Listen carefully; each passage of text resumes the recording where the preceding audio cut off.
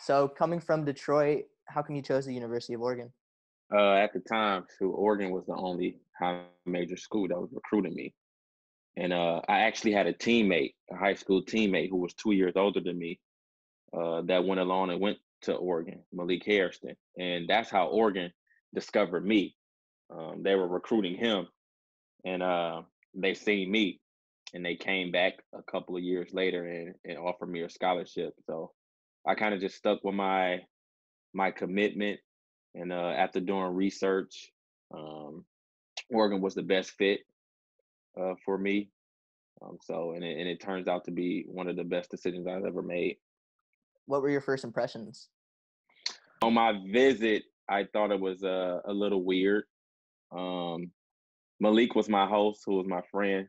Um, uh, he went to high school. We went to high school together, so he was my host on my visit, and uh, we were going to uh, his math class. You know, he was kind of touring around, and I was uh, on his daily schedule. And you know, uh, we were walking to his math class, and a guy jumps out of the tree, um, out of nowhere, scared the death out of me, and it happened to be our our center, Ray Schaefer. Uh, so I thought that was really weird that he jumped out of a tree. He was up in a tree reading a book, uh, but he surprised us because I guess he's seen us from a bird's eye view. But um, yeah, so that I, I found that really weird. Uh, but it was also green. Uh, the the air was different, smelled different. Um, I never been around a, a bunch of people that uh, were just so nice and so helpful. So my first impressions was uh it was I was on edge because it was an unfamiliar territory, but um it, it is one of the best places I've ever been. Okay. Yeah, and um once I guess once um you committed what how'd your impression change? It was pretty much the same um, because I had to get used to being in that environment, uh, being around, you know, where I'm from, Detroit, you mean you can walk up and down the street and people are not going to say anything to you. And then I go across the country and everybody's speaking to you. Um, you walking down the street, everybody's saying hello, they're polite, they're helpful. Um, so um, it wasn't a shock, it was just different. You know, everybody's being nice, everybody's being helpful, and um, and I'm I'm I'm from a city, you know, I'm from a major city. Um, so Detroit was totally different from Oregon. Um, but I mean, the the people there embrace you, embrace you. Uh, they celebrate you. They, like I said, they're very helpful. So um, my my impressions didn't change. It just it was an adjustment for me to to try to get used to.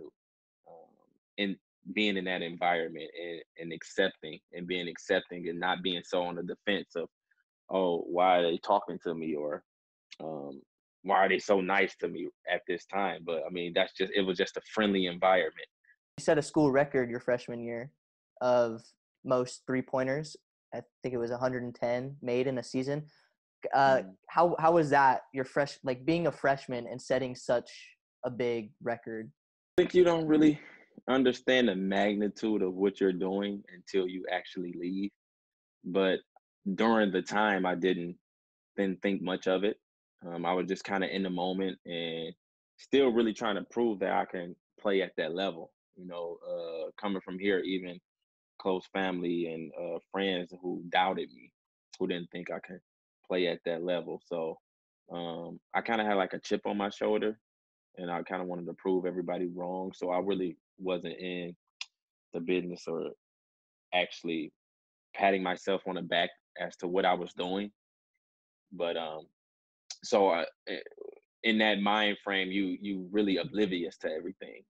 You know, I didn't know. I really didn't know what I was doing. I just kept pushing forward, pushing forward, and but now to actually look back at it is is quite unique getting mm. more achievements throughout your career did it kind of fuel you even more like coming back and just reliving like yeah i broke a record my freshman year and that kind of motivated you to try and break more absolutely um i think um, probably after that season, I got a chance to reflect, and um, it, it, it was quite amazing um, what I've done. I mean, I'm not the type that will boast or um, to be conceited, but um, I wasn't impressed with myself because I knew what um, I was capable of, but it kind of gave me extra motivation to keep going to see what else I can do. Um, so you really don't, like I said, you really don't, as a competitor, you really don't get into all the individual accolades. Um, I mean, with the press, of course, me getting more publicity, um, it draws more attention to it. But me, um, my upbringing is just taught me to just stay focused, you know, and I always kept my eyes moving forward. Um, you welcome the the individual attention, of course, but I mean, you don't uh, stay set in stone on that. You know, you just kind of keep moving forward. And but right now, as I can reflect on it, I mean, it's it's really it's monumental. You know, so uh, I can't say enough about that that that achievement. Yeah, and um, kind of you saying that you were staying humble and things like that. Do you think because you played under Ernie Kent and you played with Aaron Brooks, how how do you think that kind of helped you um, stay focused? Well, I don't know if it helped me stay focused. Uh, because no no disrespect to Ernie Kent. Ernie Kent and Aaron Brooks are two of the best people I ever met in my life. But it's just a twist to to the, that question. Um, uh, Aaron Brooks, he was a senior. Um, he had a lot of personal things going on with himself, and you know, you have a freshman coming in uh, who plays the same position as you. So he really kind of seen me as a threat um, so it wasn't much buddy buddy going on there. And then uh, Ernie Kent, you know, he still had 14 other players. Yeah. You know, to to attend to. And it was really it was three other freshmen in our class. You know, so Ernie Kent still had a job. It wasn't so much of them um, trying to prepare me or making that transition to play Division One basketball, but so much of uh, you're here now you know um, now it's time to play. So i think much of my my transition started before um, but i had an older brother who was coaching college basketball so i was able to sit in in some of those uh, practices and see how things were ran and see how things are being uh, you know diagram and from a division one coach's point of view and then you know i have a, a high school coach who was who ran our high school program like a college. It was college like college preparatory. So um, uh, I, I, give a lot of my credit to my upbringing because they prepared me. But once I got there, it was time to play. So they, Ernie Kent didn't have no time for babysitting, and Aaron Brooks didn't really have any time to be buddy buddy with someone. He he uh, found a threat. yeah, um, yeah. That that was kind of one thing that I always wondered was because I know you guys played the same position and yeah, Aaron was actually uh, him and another senior was actually in charge of picking the freshmen up to go to weights in the morning for uh, during the summer, the bridge program. So while we were in summer school, and we already had two scheduled days to go on the track, which was I think it's like Tuesday and Thursday. So if you late to weights, then you can't get in. They won't let you get in. So you just have to go on the track. And at least two extra times a week, uh, Aaron will leave me and, and go and go straight like he would drive drive past the dorms. We were staying at Carson. I don't know if it's still a Carson uh, dorms on campus. So yeah. we were staying at Carson and and we lived at Austin at that time. So uh he would just drive past, and if I wasn't outside, he would just leave me. So I will have to go on a track at least four times a week now. And we had brutal track workouts. I mean, brutal track workouts, and we ran from those tracks. So we you didn't really want any extra days, but yeah, Aaron Aaron Brooks used to leave me, and we didn't really have much dialogue. Um, before. I mean, to like midway through the season, we didn't really have any dialogue. It was, you know, we show up to practice, we see each other, and that was it. Off the court, we had no dialogue. But midway through the season, uh, I think we kind of both loosened up and, and stopped being so competitive towards each other and was like, hey, we're in this thing together. In practice, yeah, we can go at it, but in the games, we're on the same team.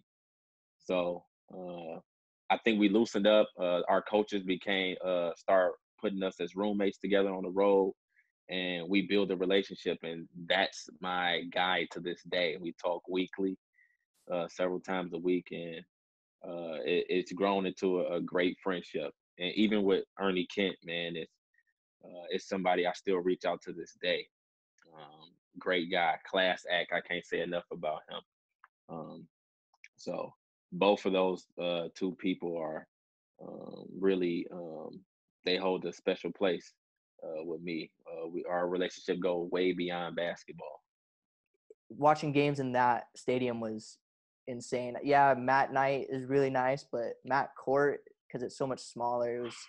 Could, could you kind of talk me mm. through how playing in that stadium was? It's no place like Mac Court to this day. Um, this is I've been 10 years removed. There is no place like Mac Court. Um, the environment, the the arena itself, the pit, how like you said, how everything was just so close. Uh, it was a little smaller, so you can feel the presence of the fans and the environment, man. And it used to get so loud and the rims used to shake. Uh, so it's it's still one of my favorite places to play uh, in Mac Court, man. It's uh, but it was time for an upgrade. It was outdated. So I know MacArthur Court is a, a lot better. We actually laid the first bricks to MacArthur Court. You know, I was supposed to play in MacArthur Court, but um, uh, the the re- the construction date was pushed back so many times, so uh, I didn't get a chance to play there. But I seen a I seen a game there and it's definitely not the same. It's not the same, but um, it's definitely deserving. That school is definitely deserving of a new arena, a nice arena, and uh, it, it, it is it's beautiful. It's a beautiful place. It's just not. It don't have the same homey feeling, but I mean, definitely we generated uh, enough fans to to be able to have more than what we held at Mac Court for sure. After college, you went and played in the G League for a little bit, if I'm mm-hmm. not mistaken how what was that experience like? Ooh, like a roller coaster. Um, actually, my first uh, time going to the D League is when I left uh, college. I got drafted to the uh, Maine Red Claws, and I played well throughout training camp. And um, they even told my representation it was two days left in, in training camp before they had to send a final roster then and they told my representation, oh, he's good, he's on the team. And we had a open scrimmage left uh, to the public and maybe one more practice.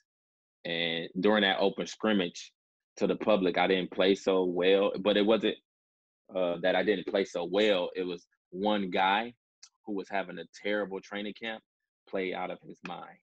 He played completely out of his mind. I'm talking about hitting every shot he he threw up from fadeaway, step backs, all kind of. He was he played unbelievable. No disc, uh, discredit to him, but um, and he was deserving. But they called me in the next day, uh, towards the end of the uh, training camp, and it was like, yeah, we're gonna have to release you. So that's when I I learned like one bad day can determine what's or how it is moving forward. You know, so that was my first stint, and the second stint is even even crazier. My second time I went uh was with the the Vipers, the Rio Grande Vipers, and if there wasn't no bad days in training camp. There wasn't no bad days in training camp, and they had to send the final rosters in, and the same thing happened. It was like we're we're gonna have to cut you. I know you've been playing well, but we're gonna have to cut you cut you. But you can stick around for a little while and you never know what will happen.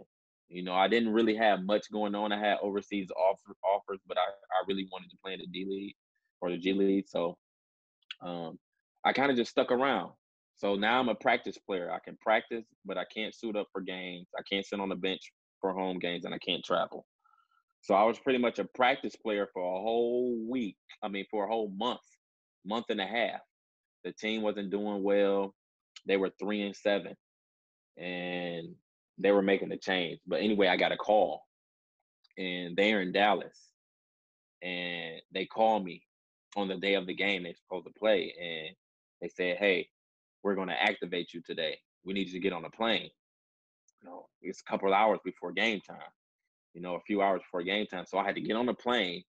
By the time I get to Dallas, they are going going to the arena for warm up, you know, pregame. So I had to get I dropped my stuff at the hotel, get transportation to the game, and I don't even get a chance to warm up because I had to register. I had to do physicals.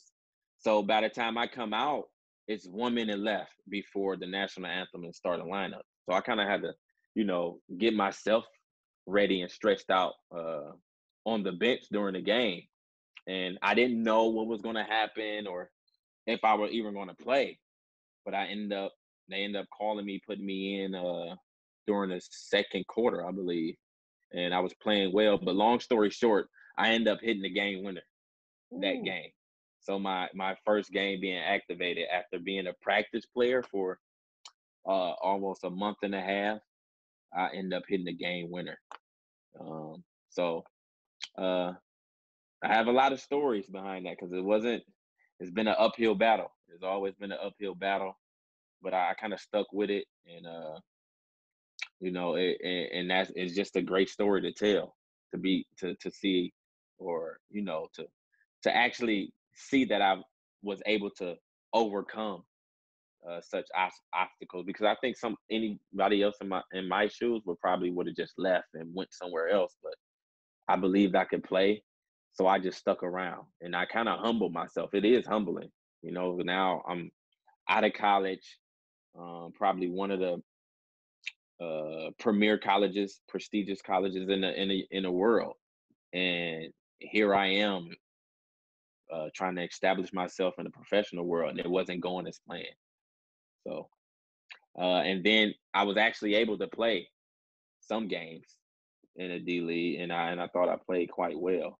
Um, so it was it, like I said, it was it, has been a it was a roller coaster in the D League, actually a, ro- a, roller coaster.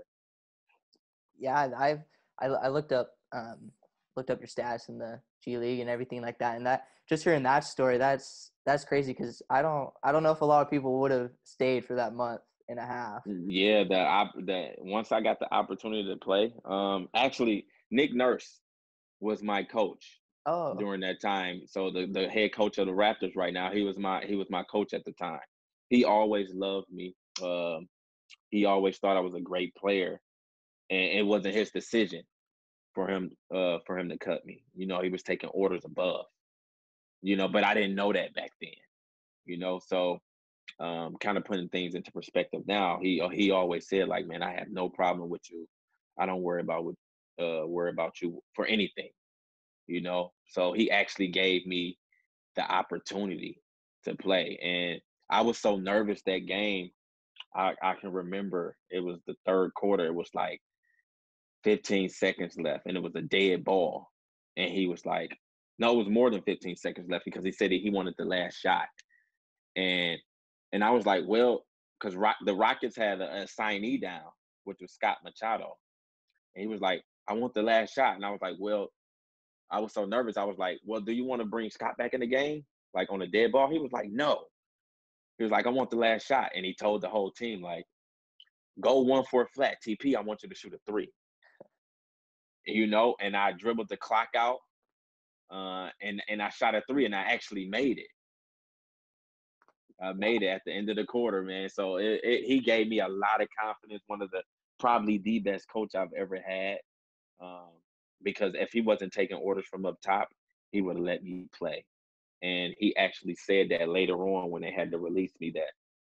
Um, he was like, "Man, I had no problems with you." He told me the truth. He was taking orders from up top, Um, so he was like, "Man, you you were playing so well, you were about to get a call up, but it's a business, you know." So, you know, they ended up having to release me um, during that time, or uh, after after a while, they had to they had to end up releasing me because they was going a different direction. But um, Nick Nurse, man, he he gave me the the ultimate green light when I was on the court.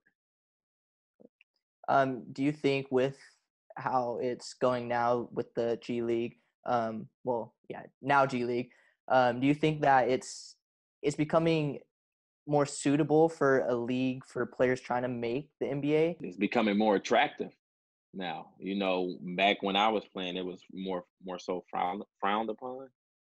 You know, people were like, "Oh, they don't get paid this much," or "You're not going to make it," or you know. But now they kind of is geared towards that. You know, um, and they're paying more.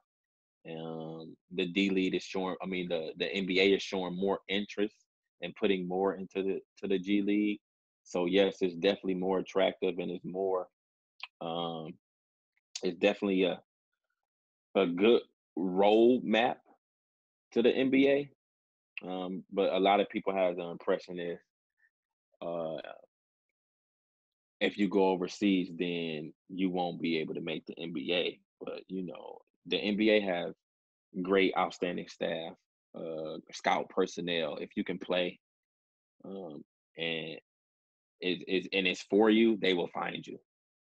But I mean, the D League where you keeping close, uh, yeah. So I mean, they they're more involved, and it, like I said, it's more attractive uh, at this time. So, uh, especially high school uh, talent, top uh, athletes, is is way more attractive than going to school and having to deal with all the rules and so it, it, it can get tricky, but uh, with with the way the NBA is now and how everything is projected, it the D the G League. I keep saying D League. The G League is more is is is definitely a good route to go. You you then went overseas. Um, mm-hmm. Correct. If I was if I'm correct. Um, how no, how was how was that experience like? The same. It's the same, man, because it's a business too. But now the pressure is on you because usually when they bring an import in, especially an American import, you are the guy on the team. So you have to shoulder everything. You're a superstar. They expect you to do everything. So um, it comes with a lot more pressure. Um, and then it, it's business too, because sometimes you may not get paid. And um, you in a foreign country, you really don't know how to speak their language, so you you have to maneuver how to get around. So it, it is a challenge, but it's one of the best things in the world too to be able to travel and play basketball all around the world and experience another culture, another lifestyle too. So uh, it has its pros and its cons for sure. Uh, but more for me, more so uh, pros because uh, I love, I love, I love going overseas and experiencing different country, and uh, kind of like adapting and uh, adjusting to their lifestyle, and it makes you be more, more grateful of what you have here in America, because we can be, we can become real sedity, you know, yeah. but being overseas makes you appreciate the things the things we have are that are more accessible in, in America for sure. What what's something that you you tell your younger self, if you could? Oh, I could tell that knucklehead a lot of things, but um, I would probably tell them um, life doesn't always go as planned. Um, be prepared for curveballs and adjust accordingly you know, because a lot of times, um, like just with me getting cut and have to and have to to go through different trials and tribulations, I will kind of go into a shell or don't want to be bothered, don't want to talk, and and kind of be distant from everybody, uh, and kind of be down on myself. But I mean, it's life. Life doesn't always go as planned. You still continue on. You just find a different way to achieve your goals you know so that that's probably one one one advice one thing I would probably tell myself because I can see myself being down a lot and being distant from a lot, a lot and, and disappearing. And people like, oh man, where you been? Like, but really, I was on in my own little funk. But uh, so that's one thing I would probably tell myself. Okay. And is is there really is there anything that you're looking forward to in the in the future? I think once the ball stop bouncing, uh, probably coaching or scouting and uh, staying around the game, but from a different aspect. You know, um, I have a four-year-old son, so I'm looking forward to being more, more stationary, more stable, and uh, watching him grow. Um, and I have a, a, few business ventures brewing, so um, I think probably just being more station, stationary. I'm excited, but right now I'm still dribbling the basketball. Who knows where it's going to go, or how how long I'm going to do it? But uh, definitely, um, just life itself, man. Every day is it's, it's a challenge. I'm happy to to be alive, enjoying the the, uh, the goodness of God, man. So I can't complain.